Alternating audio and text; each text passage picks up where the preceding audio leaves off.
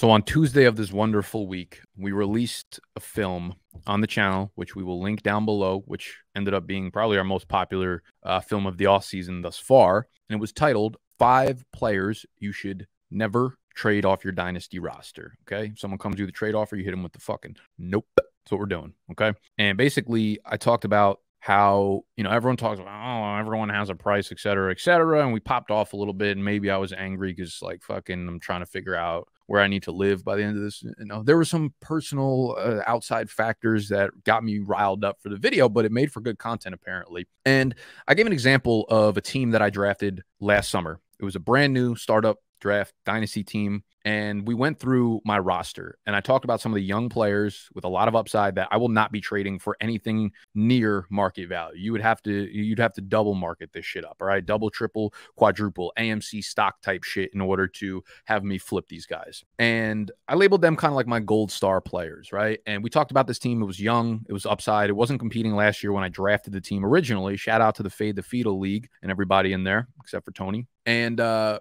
we went through my roster. We looked at it. We talked about the young players and we looked at the picks because it was a team that I drafted very, very young, didn't expect to compete immediately, wanted to offload some of the stuff I have now for future picks. And the future came, future done come. Pause. And the future is now because we have a lot of first round picks in the 2022 mock draft. So this is a continuation, as promised, of Tuesday's video, where we're going to do a mock draft based on my actual team and the actual picks I have, going through my roster, going through the league settings, going through my mindset of how I will attack this rookie draft. It's going to be unfortunate because fucking everyone in the league is going to probably watch this video, and then like any player that I want, not going to end up getting because they're all pieces of shit, and we'll just do it to get me riled up. As you can see, it's not hard to get me riled up. So that's what this video is today. Superflex rookie mock draft with real implications. All right. We could do it on Sleeper app. They allow you to mock draft based on your league settings and the picks that you actually have, which is a super, super cool feature for us as Cleatos. Okay. So after the intro, we are going to look at the team. I'll explain the settings. I'll explain my mindset going into the rookie draft, et cetera, et cetera. If you enjoy the video, if you've got a rookie draft coming up after the NFL draft, make sure you hit the button that says subscribe,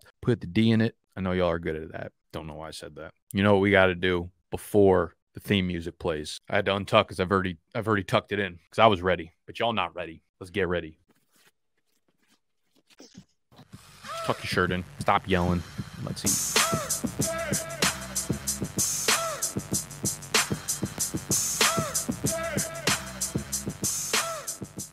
What's cracking? Big dogs. Welcome back to the channel. Welcome bike to the headquarters. My name is Nicholas. This is BDGE. Make sure you're subscribed if you want everything fantasy football up until literally December, January, or whatever. We're putting in the work here in the early months. You already know what today's video is about. So let's jump into the sleeper platform. Let's hope this works. So this is the squad in Fade the Fetal and you guys will be able to see it. Tony will put the team up on the screen or whatever. And again, in Tuesday's video, we went more in depth on this team and some of the guys that I, for no reason whatsoever, will not be trading. That is Travis Etienne, Kadarius Toney, and Kyle Pitts. I want to build this team around those three guys. Now, to give you a little bit more context for the scoring settings, this is a 12 team league. This is a super flex and it's a tight end premium. So quarterbacks, I think it's four point per passing touchdown. Tip, typical quarterback fantasy stats and numbers, whatever. Running backs get half PPR. I want to. Is there point per carry in this league? Actually, let me check that out. I might just fuck around and and uh, not even known the scoring settings. Let's see. Oh, six point per passing touchdown, minus three point per interception,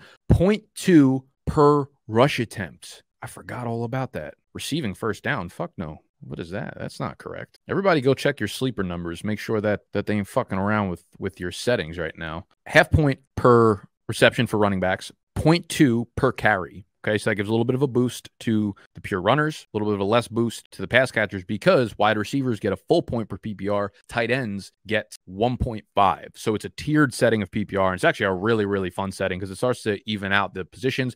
We also have two running backs starting, three wide receivers starting, which again gives a little bit more of an edge to the wide receiver position in terms of like draft importance because you need more depth at the position, right? And the reason that running backs are so much more valuable than wide receivers is because there's so few of them that are actually fantasy viable whereas wide receivers, there's so many of them, but you add in an extra starting spot in the lineup. And then guess what? You don't have as many options available on the waiver wire. You don't have as many options available that will produce at a, at a level relative to another wide receiver, too. So we've got three wide receivers. We got the tight end, which again gets 1.5 point per PPR. So Kyle Pitts, I got him into 3 1 in the startup last year. And obviously, I'm fucking ecstatic about that.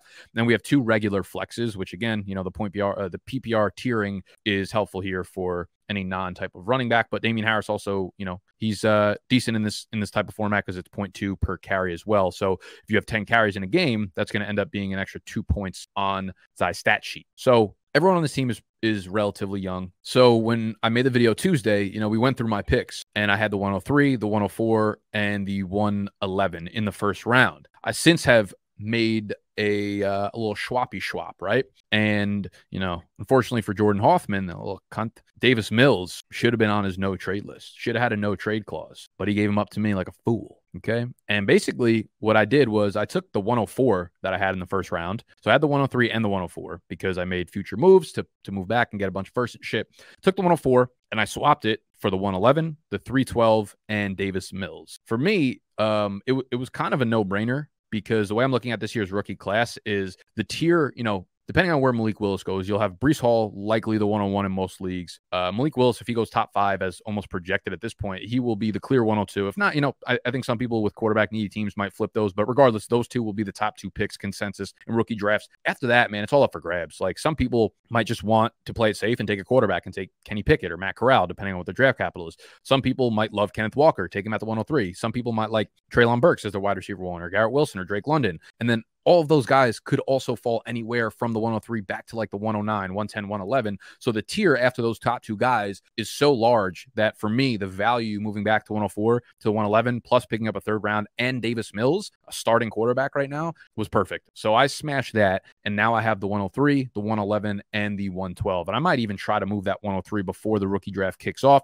or during the rookie draft for either a later first round pick or a 2023 first rounder because again the tier is so big. Now Davis Mills, y'all might be like, why the fuck would you trade for Davis Mills? Listen, Davis Mills is a starting quarterback and doesn't get much more valuable than a starting quarterback in a superflex dynasty league. He is young. He is a starter. He showed promise in his first year. He showed weekly upside where he had really, really big games. That's despite being on an absolute fucking train wreck of an offense. That is despite having zero weapons to throw to, the shit offensive line. Like, listen, Davis Mills showed more than enough for me to at least entertain the idea that he could be a starting quarterback in the future. The Texans are going all in on him this year. They're not drafting a quarterback in the NFL draft, at least not in the first round, where they would expect to draft, you know, the starter of their future. They're going to give him another shot. And for me, that's enough. Like he averaged more passing yards per game than guys like a lot of the the rookie class last year. Not Mac Jones, not Trevor Lawrence, but the other guys he averaged more yards per game as well as other like certified starting quarterbacks in the NFL. So he showed enough promise that like I don't know what Davis Mills is, but there's a chance that he is actually a good starter at the NFL level. And for me, that was a no brainer uh, to move back because now you're picking up almost two starting quarterbacks for the price of the 103. Because I can go Davis Mills as well as whoever's at the 111. I'll be able to grab a Sam Howell or Matt Corral or someone like that, and you basically just got two for the price of you know that plus some other picks and assets and shit. So happy with that move. Happy to move back in the first. And I think if you have those mid first round picks, I would be looking to move back this year. But this is the squad. I would say, you know, my quarterbacks are young, some with upside, but definitely not like strong enough to compete for a championship right now.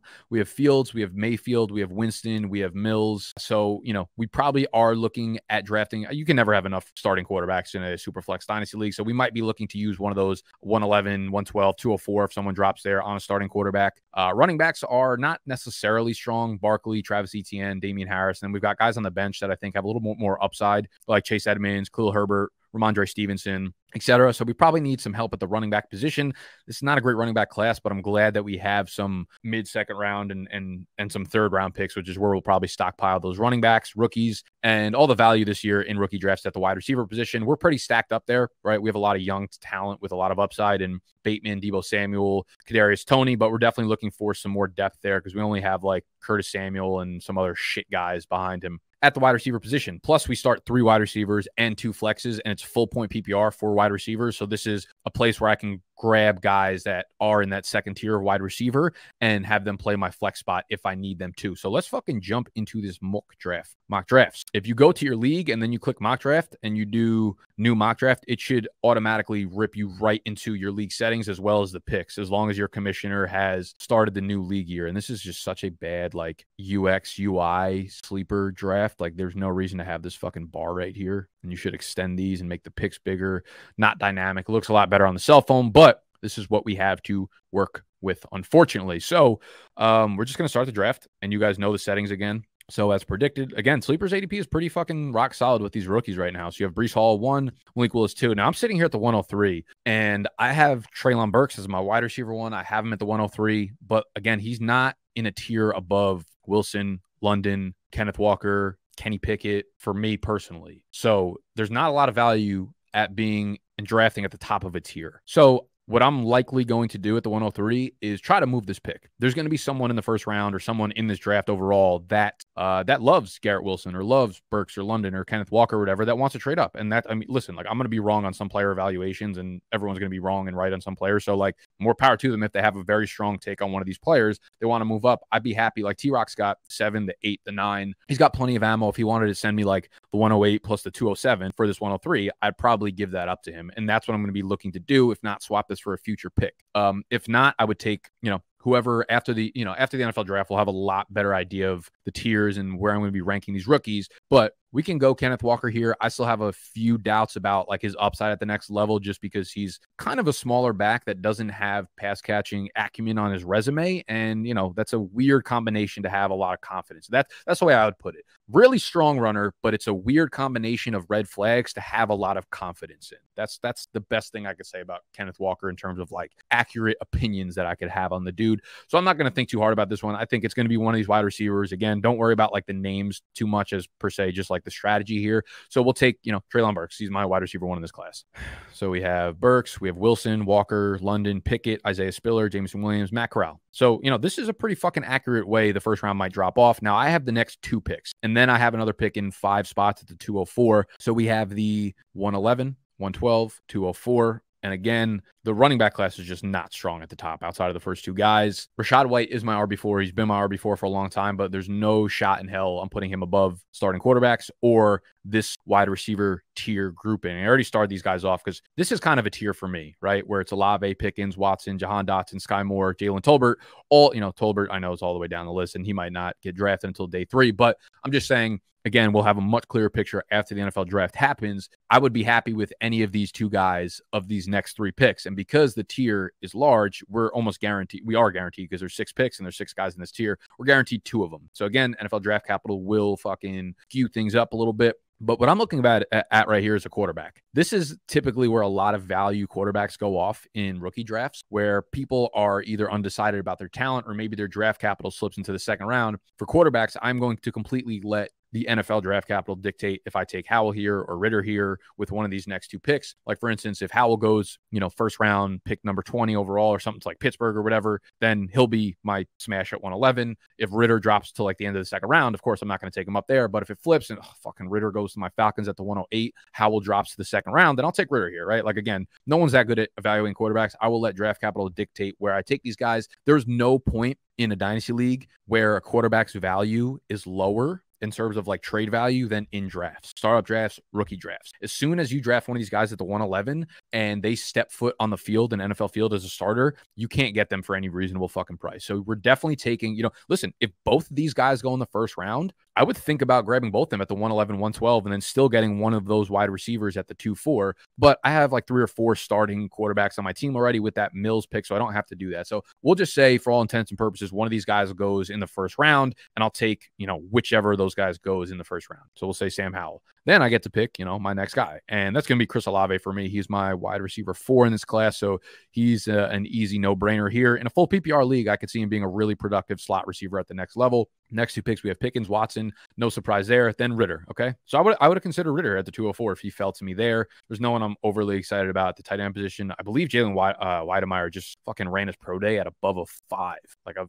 5.0 40 yard dash, might five one or 5.03 or some shit. It was bad, really bad. That makes him almost unusable as a fantasy tight end. So that knocks another guy off the tier. Rachaad White's available. This is the time where I would start thinking about Rachaad White. Now, depending on where these guys go, really good chance Dotson or Skyy Moore or both of them end up as first round picks. One of them going to Green Bay or Kansas City. I'll say this 50 fucking times in the video, but the NFL draft will obviously dictate a lot of what happens in the draft. But for overall strategy, I think one of these guys will go first round. So I would probably be taking them above Rachaad White. I do need some help at the running back position. So again, if Rachaad White gets early day two draft capital, I would probably take him here, depending on the landing spot too. If Rachaad White goes, you know, late third round or in like the fourth fourth round, I would probably take a first round wide receiver. I don't think that's a fucking hot take to say here. So we'll just say most realistically, I think Rachaad White.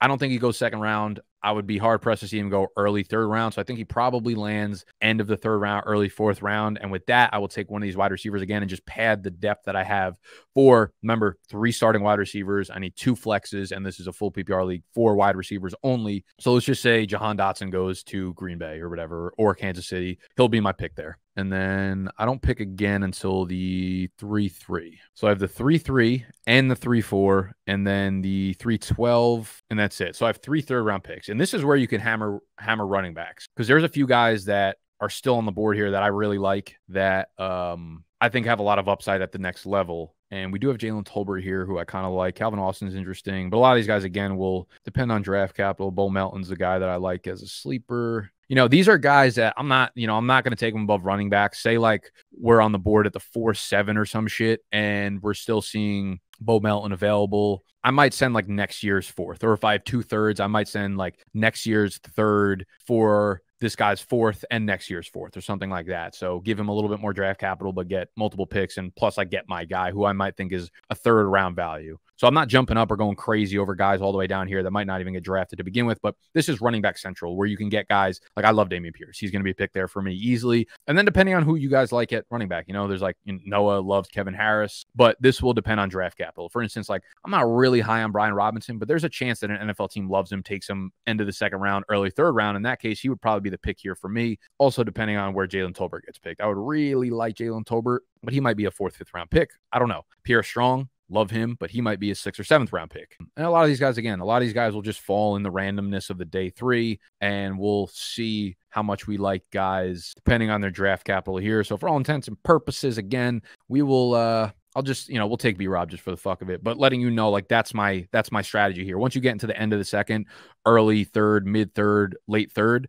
like fucking tee off on these run on these mid round running backs. I'll take Jalen Tolbert here because I like him too much to pass on him for any of these like you know exciting kind of Pierre Strong, Tyler Badie, Ty Chandler, Jared. Actually, all these guys have gotten you know decent enough hype where I think they're okay picks. But I uh I just got a little ting for Jalen Tolbert. And I think he's my last draft pick in this spot, unless I'm not seeing something. All right, so the fourth round got a little fucking nutty here based on the computer. But uh, but yeah, this is the result of of my draft. And Sam Howell, Dameon Pierce, Brian Robinson, Treylon Burks, Chris Olave, Jahan Dotson, Jalen Tolbert. So I think we just padded the team with a fuckload of really young, high upside depth here. We got a quarterback, we got two running backs, we got four wide receivers, which I love because listen, two of these guys are going to hit, and you can move them if you want. If you want to move one of them for a running back, you want to trade, you know, Chris Olave after a big game plus a next year's second round for like a high upside young running back, you're going to be able to do that. So I think the key point here is understanding the pockets of the draft. What happened here in the first round, I think, is going to be super similar to any rookie draft that happens pre NFL draft. After the NFL draft happens, a lot of shit's going to shake up, of course. And then, you know, all hell's going to break loose. Rankings will change, tiers will change. Our rankings will be available for purchase before the NFL draft drops, but we have not yet finished our website, which we will eventually tell you guys about. And then you'll be able to get on there and get our insights. So let me know what you guys think of the draft. I think this is exactly how I'll attack the draft. The pocket from like the 109 through the 204 is absolutely smothered with wide receiver and quarterback value. And then after that, I mean, there's a mix of, you know, stringy, kind of flaky running backs and wide receivers. So there's also like a tier from like the 209, 208 all the way to like the 35, 36, 37, where there's a kind of, uh, you know, a lot of similar players. And some of you guys might love David Bell. I think Skyy Moore definitely deserves to be up here a little bit uh, higher. But other than that, I mean, this is where I'm smashing running backs from like the 208 to the 35. And then, you know, just get your guy after that. So we're all going to be fucking wrong and right about a lot of things. And don't let my dumbass talk you out of guys that you love and yeah, that's that's today's video. So I hope that was helpful. I hope you enjoy. We're going to be doing rookie mock drafts like this every single week leading up to your guys' rookie mock drafts, which usually happen like a week after the NFL draft. Uh, make sure you subscribe. I'm not sure what tomorrow's video is going to be, but we're putting up videos every single fucking day. All right, we're really out here working. So if you appreciate us, subscribe, like the video. Uh, let me know what you think I did well. Let me know what you think I did terribly in this draft, and let me know how your strategy differs from mine. I love you. I'm out.